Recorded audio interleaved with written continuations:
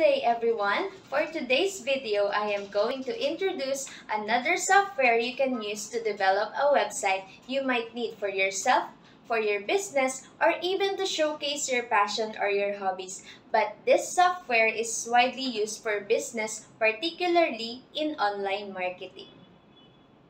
The software I am about to introduce you is the Wix.com.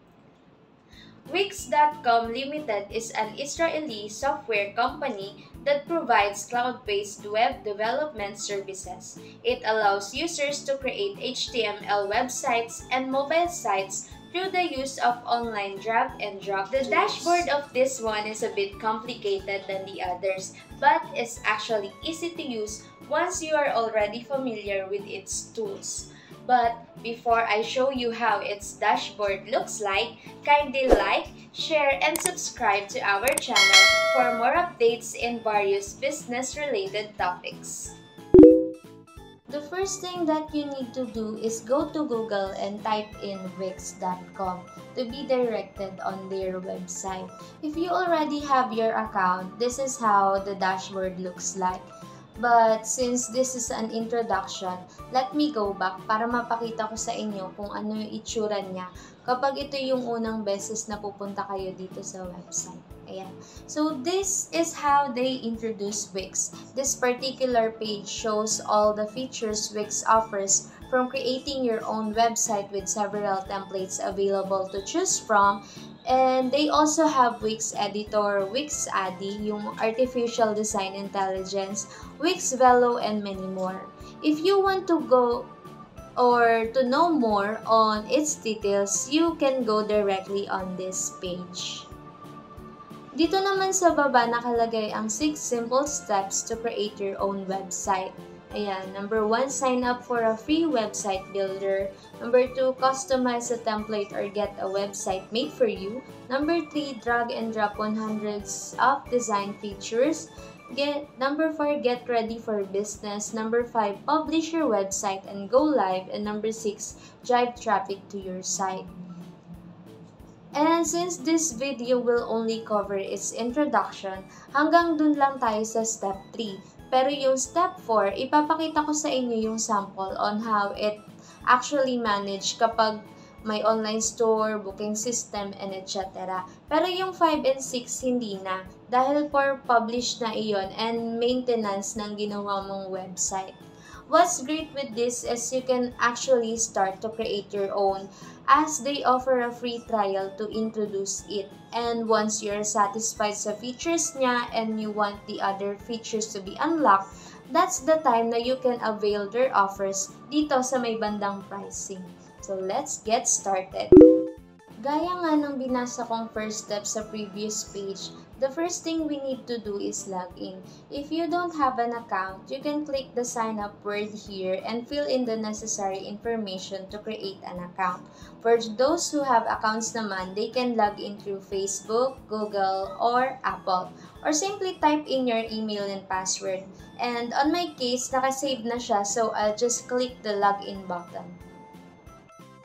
So, andito na ulit tayo sa dashboard ng Wix. Nandito siya sa homepage and now, let's go to all sites para makapagsimula na tayong mag-create ng website.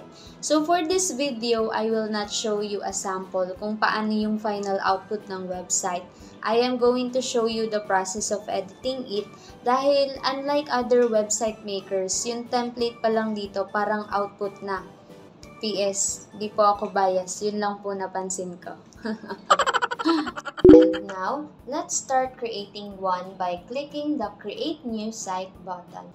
There are actually two ways to create a website using Wix, but before that, you need to type in first the kind of website you are creating as they offer a wide variety of templates that goes with what kind of website you want, ito agad nire-require sa una dahil bawat kind, meron na agad silang parang built-in website, ganon. Once you have chosen what kind of website you want, you just need to click the next button. On my case, dahil medyo nagugutom ako this time, let me choose restaurant. Ayan, so maraming choices ng restaurant website na pwedeng pagpilian. And I'll go with restaurant blog parang mag-feature kunwari ako ng mga restaurant, more of reviews, then sasamahan ko ng business like bestseller food. So this is what I am telling you a while ago. There are two ways to create a website. With Wix Addy, you just need to answer a few simple questions. Then after answering, it will automatically produce a website for you. On the other hand, creating website with editor is editing editing a template.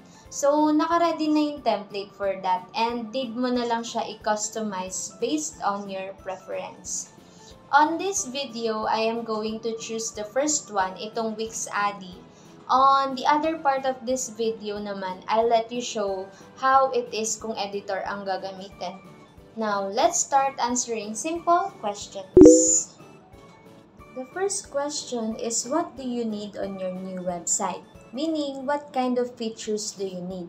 As shown in the right side of the screen, may mga features na agad siyang nire-recommend depending sa type of website na pinili mo. All features na pipiliin mo dito ay mag appear sa homepage ng website mo. On my example, dahil restaurant vlog siya, naisip ko isama yung restaurant menu. Pero perong, parang nagbago na isip ko.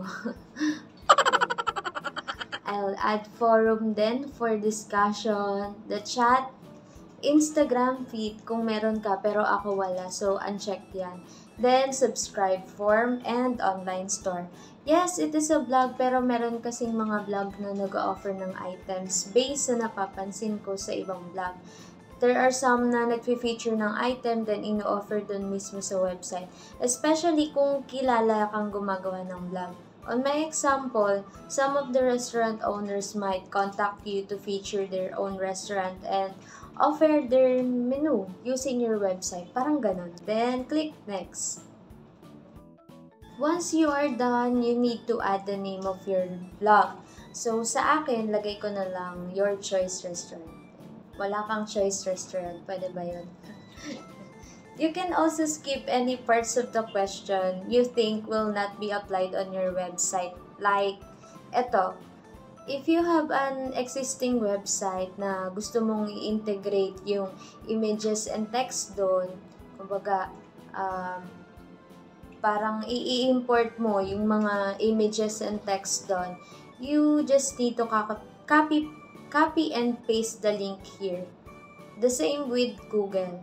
So, on my part, I'll skip this one. Now, you need to review and edit your information. If you already have a logo, you can attach it here coming from your computer files. You can also add your address, phone number, fax number, and even social link like Facebook, Twitter, YouTube, and etc. And speaking of YouTube, again and again, please like share and subscribe to our channel.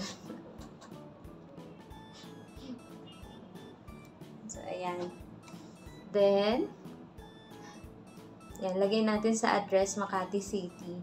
Then sa phone, 12345678900. So, kung nag-exist yung number na yan, hello sa'yo. Ayan. Since wala naman akong malalagay na social link, though dyan siya nilalagay, i-delete ko na lang for now. Pero kung meron kayo, add nyo siya dyan. And then, click next. And now, pick a theme on how you want your website to look like. This part might show you only 6 themes to choose from, but it can be changed mamaya. Yan, you can always change them later naman nakalagay dyan sa baba ng pick a theme you like.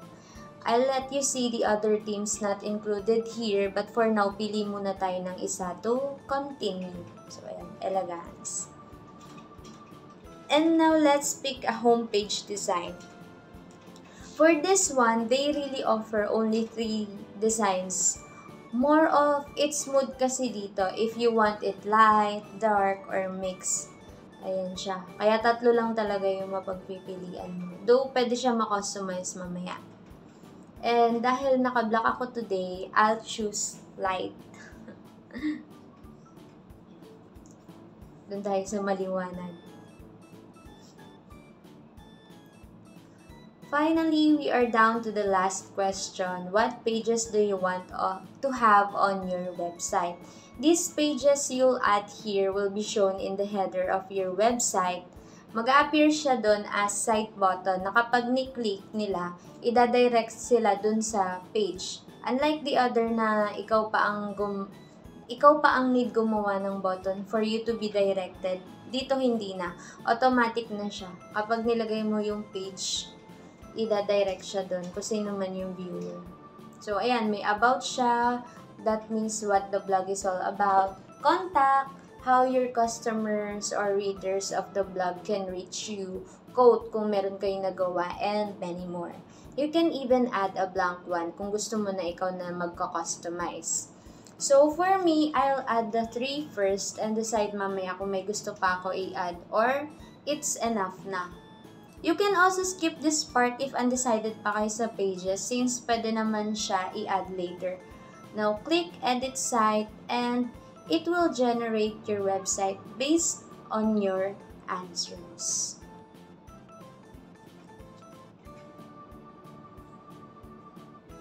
And here it is. This is how the homepage of your website looks like. As you can see, halos parang tapos na siya. Everything is on place. But I know for creative people out there, this is very plain. So, I'll show you how you can edit each part naman.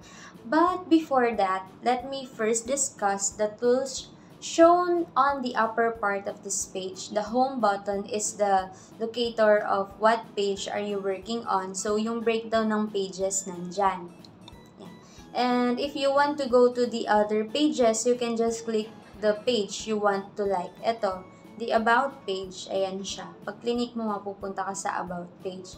And then, the shop page, ayan. Usually, ginagamit ito ng restaurant bloggers to show the shop na napuntahan nila, ganun. Pero kung mapapansin nyo dyan, na puro palang items, kumbaga yung ano lang, icons lang nung shop. Pero mamaya i-edit natin yan, papakita ko din sa inyo. And then, the add button naman is when you want to add a page or a section within the page. Pag section, ganito siya, by part. By part dun sa ano mismo, page. Unlike kapag page, isang buo talaga yung naa-add sa kanya.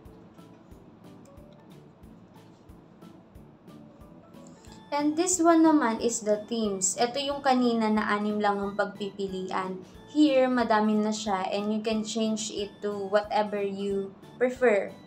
It also includes the color, the fonts, and animation. Fonts includes the font style, font size. Yeah. The animation works as how you want the page to show once nag-scroll ka. So, dito, trinay ko muna yung crossfade kasi hindi ko pa siya na-try. For colors naman, mag-edit siya ng color for the whole site kung paano mo siya gusto. Gaya ng sabi ko kanina with choosing homepage design, halos ito din yon So, ayan, meron siyang light, and then meron din siyang dark, and ito naman yung mix. This part naman ng manage is for the blog and shop. How you will manage your posts, your items, and medyo advanced na yung part na ito. I'll show you how this works mamaya kasi um, ibang dashboard siya kapag clinic mo. It also has the undo and redo button. And um, Pidwix, ano siya, automatically nasa-save din yung gawa mo. So, you don't have to worry. Kunwari, bigla kang nawala ng internet kasi nag-auto-save na siya.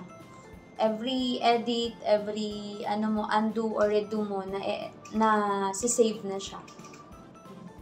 And this one naman is for what orientation do you want to view it.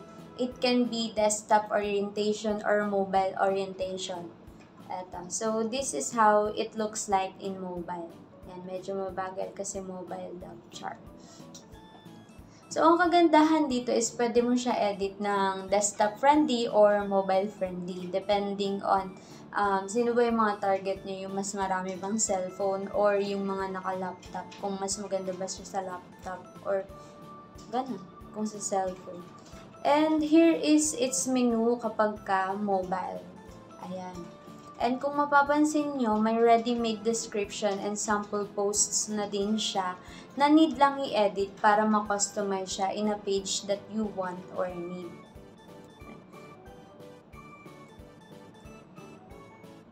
So, ayan. And that is all the tools na madalas gamitin while editing. On the next part of this video, I am going to show you how it is edited part by part as it is the most detailed topic on this video. See you again!